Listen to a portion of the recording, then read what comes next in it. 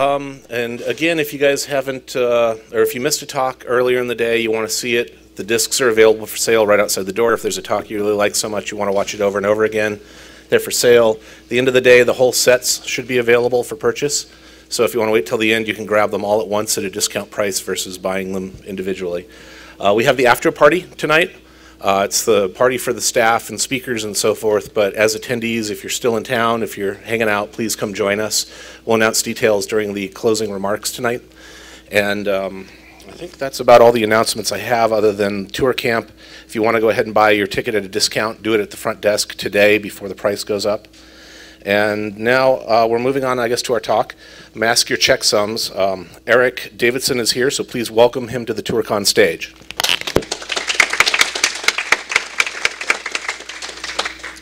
Uh, this is my first ToorCon, so thanks for having me. Um, I'm enjoying myself. Um, this is this is all uh, TCP and IP header-based checksums, so I'm already surprised how many people are here because it's not that interesting. Um, and actually, before I get into that, this is kind of all the theme of uh, people trying to mask or sanitize their data, but not being successful at it. Um, and that's always something that's kind of interesting to me. Um, so before I get into that, we uh, when we drove into San Diego from Phoenix, we uh, went to this pizza shop in Gila Bend, and um, just open up a picture of it really quick here. okay, so uh, I guess uh, Prince Harry uh, was in this pizza shop and he wrote a letter to the mayor or whatever talking about how awesome the pizza was. Um, and so that's the kind of a crappy picture of it. But if we zoom into another part of it, we get a part that they scribbled out, I thought they did, um, and has a phone number there. And if you, it's hard to see anyway because well, I scribbled it out, but not so hard where I don't see a 4-4 uh, country code. So I know that's UK. Um, so I'm not going to do anything with this, but I did send it off to Rob Carter. So let's see what he does with that. PLA. Phone losers. Okay, so my actual presentation. What this is actually about um, is when people send packets like this to uh, organizations like SANS.org or whatever to try to troubleshoot or uh, inform or whatnot.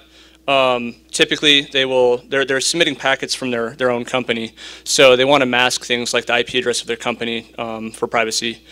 Uh, otherwise, uh, like GitHub, or not GitHub, but like Pastebin and um, Stack Overflow and all that, people don't mask their checksums, and that's cool. Um, I don't even know why I had masked my own, but uh, my only point is if you're going to do it, do it right. So um, in this case, this specific packet, and this is a real packet uh, dump that I found on sans.org, uh, we will reverse those X's that show up on the um, 10 line there. Uh, it's, it's trivial, actually, uh, using the checksums that they don't mask, and I've never seen anybody mask checksums. So this isn't groundbreaking. I mean, this, this post was like from a decade ago, but along the line, people still aren't masking.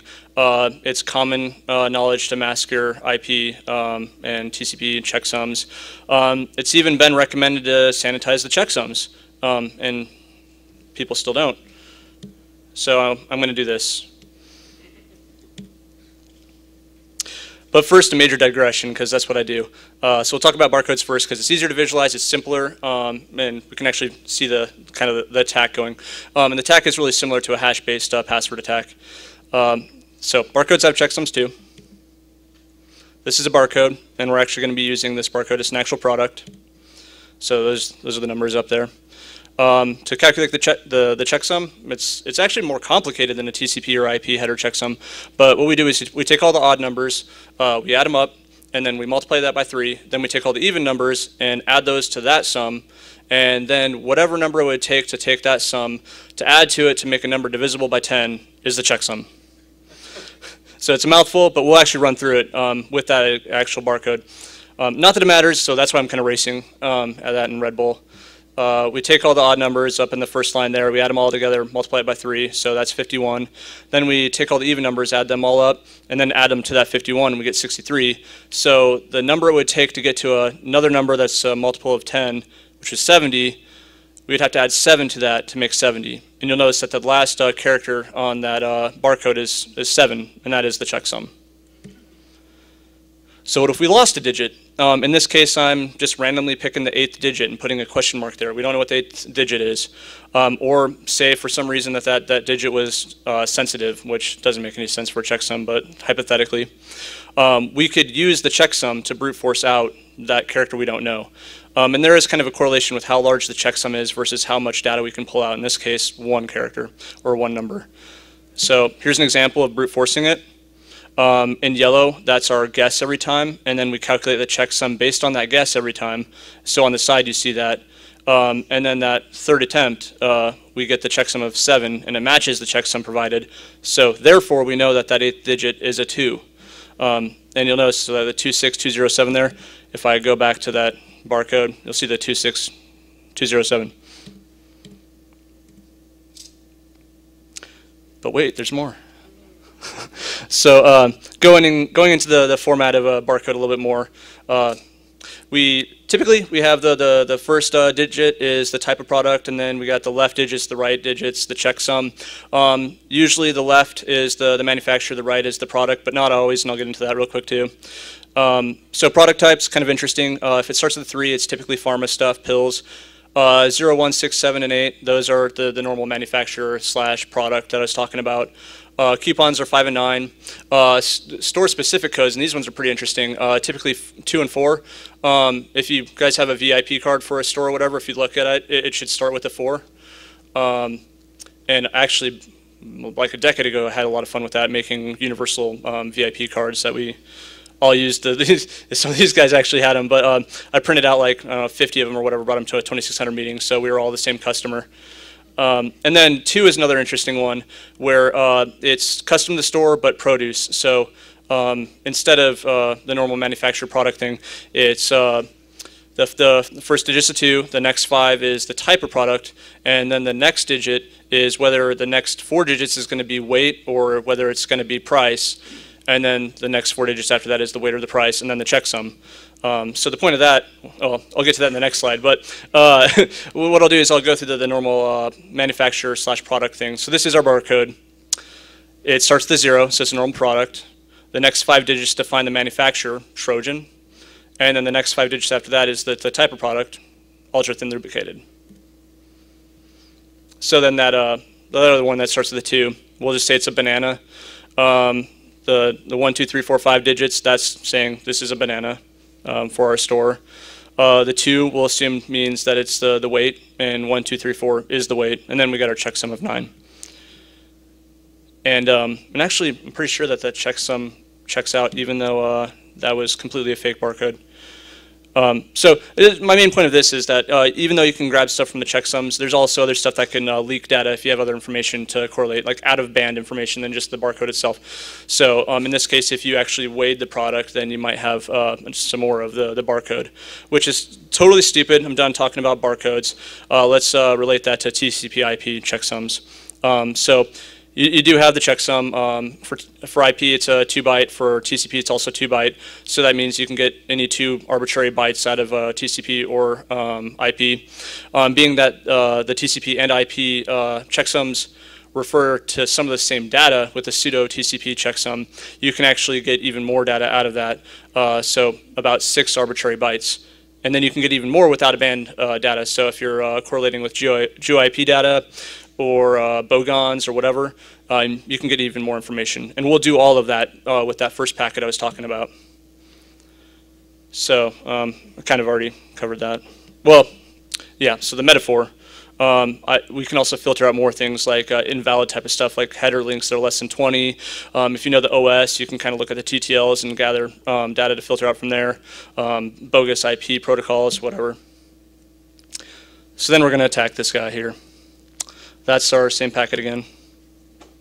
This is uh, ASCII hexified. We maxed out, or yeah, masked out those nibbles and with question marks, which is what my tool takes. And um, just this morning, I put it on GitHub. So I'm copying that over.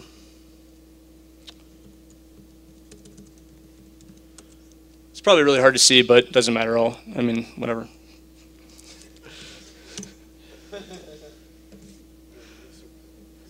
I should add quotes to this because there's uh, spaces in here and stuff, and it'll freak out. There we go.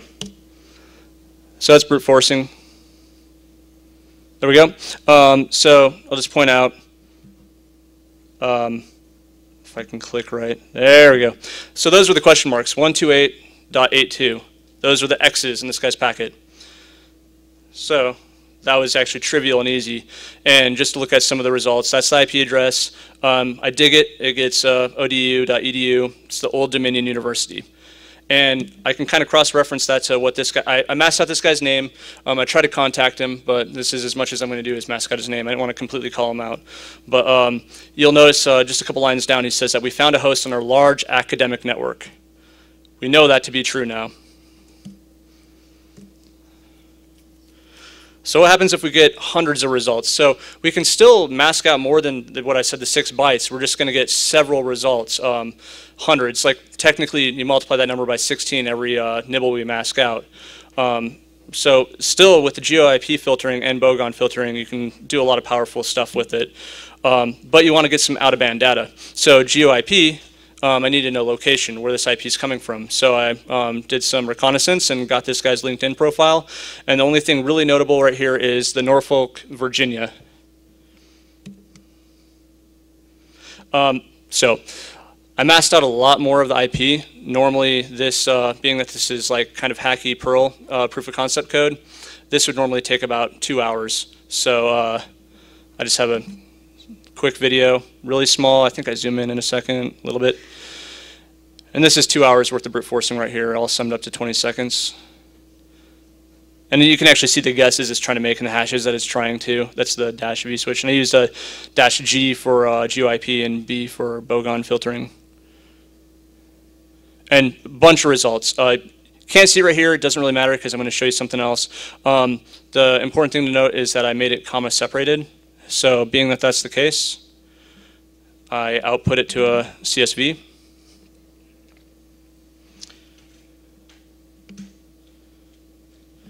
And wow, it's a lot smaller on this resolution I have. But um, see, there's tons of results. And uh, notably, the that's the information we're trying to unmask. These are all the different IP addresses because all the other fields are the same. But these IP addresses, they're all guesses, and we don't know which one's the correct one. These are all possible packets that it could be, and only one's going to be the case. But we correlated with GeoIP data, so for every IP address, we try to see where that could be located. So let's filter. We're going to do filter and just auto filter so we can uh, do the little drop down. So here's all the different cities it could be. Um, one of them is kind of pukey at the top. and then we're going to go down to Norfolk. Uh, check all, Norfolk. One packet. There is IP address 128.82.78.134. If we go back here, just a couple slides that had the IP in. Oh, I went too far. Fly through the matrix here real quick. There we go. So 128.82.78.134 and I speed ran through that. So um, there's one other thing I wanted to say uh, just in, in some of my research, like all 30 seconds of it, because I really didn't know if there's a tool out here like this or how widespread this kind of attack was. But um, there are tools where you can automatically sanitize your PCAPs. Um, a lot of them that I researched were really, really crappy, like they would mask the IP addresses, but they still left the checksum alone. So that doesn't make any sense to me. But there's another tool called TCP Purify, or uh, the P is shared, so TC Purify. Um, that actually will mask the checksums because what it does is it'll zero out the, the um, IP addresses and then recalculate the checksum based off of that. So that checksum is based on the, the bogus IP addresses. Um, so if you wanted to sanitize your data, I would just recommend, instead of doing it manually, just use TC Purify.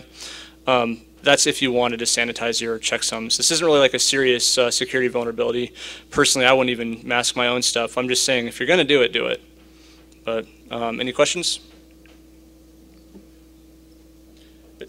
so I'm going to get him first. So uh, I imagine in, in, most scenarios where people are posting uh, IPs that are masked, they're usually posting like a, a TCP dump with multiple consecutive packets all involve the same IP address.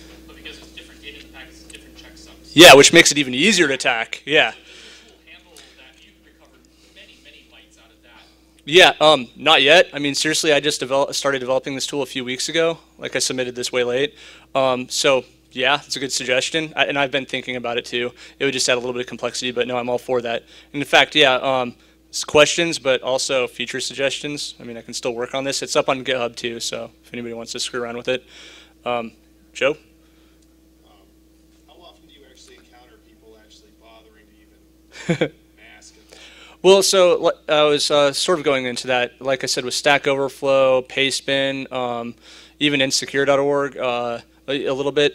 Hardly ever. Um, even Sans.org, hardly ever. It's it's kind of surprising. Um, even though I was saying it really doesn't matter too much to mask it. I mean, really, you're just hiding your company. But for some companies, they care. Um, so, but what I have noticed is the people I do try to mask the checksums, there's not a single one that I wouldn't be able to reverse with this tool. So opening it up more to like log files, you know, 'cause that's, a lot of us post stuff like that, right, to Pastebin or whatever. So what, what other things other than IP addresses and checksums would you recommend just doing a control F4? Yeah. Um, so one thing, probably the TTL, because um, like, and I could be wrong. Correct me, guys. But uh, Linux usually the TTL starts around 64. Um, Windows currently I think it's about 128, but old school Windows like the 9X and below I think is 32. Um, AIX I think is something weird like 60 or something like that. But you can use TTL to kind of profile. So if, if a company is posting a bunch of uh, of their packet dumps, just from the TTL you can kind of profile whether they're a Windows or a Linux shop. Um, trying to think of anything beyond that really. Um, in, a- in a sense, just kind of you know look at a TCP/IP cheat sheet for the headers and just kind of look at what you think might be sensitive to your organization. You know, but TTL is one of the first things I'd kind of look at. Uh, ports as well, maybe. You know, because it says what kind of services you're running if that's sensitive. Which is part of the TCP. Another feature I'll probably add too is I'm, I'm not doing UDP right now, so because that pretty sure has a checksum as well. One of the few things UDP does have. So are you really just doing like a totally or are you trying to back calculate anything out of the calculations? totally unintelligent. It's it's like a, a hash-based brute force. So it, uh, you know, like John the Ripper in, the, in that kind of a sense. So um, I have a hash, but I'm not actually trying to do some kind of mathematical attack on the hash. What I'm doing is I'm guessing a password and then seeing if the hashes match up. So with that barcode example, that's almost exactly my method. It's just the, the dumbest way I could possibly do it, but it works. Um, maybe I can try to do it intelligently, but I don't know even how possible it is.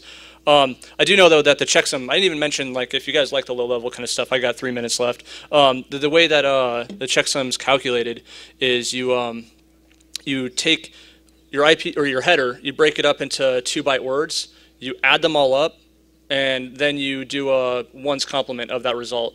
So an interesting thing about that checksum if, is if you reversed anything, any two byte thing, like you could literally reverse the, the source and destination IP address completely, and you'd get the same checksum, which is actually a, a point that Judy Novak of uh, I think SourceFire made in one of the SANS posts when people were asking about masking checksums. Um, she said something to the extent that, yeah, you should mask them, but I don't really see the point. I'm paraphrasing, but she's like, I don't see the point because you know things can get switched around and blah blah blah. But I think that's kind of uh, not missing the point necessarily, but it, it, it's not really relevant. Um, I'm, I'm going in assuming that there's no corruption. Um, and it's not a horrible assumption because with this actual example, um, I, I got when I did the dig, I got a university, and this guy's talking about his university. You know, it, it works. It's not trivial. It works, assuming there's no errors. Any other questions? Cool. Got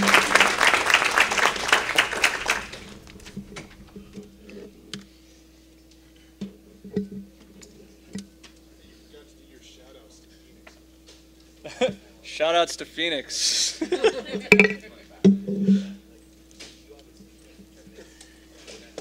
had a little like Phoenix 2600 logo thing on my first slide and heat heatsink.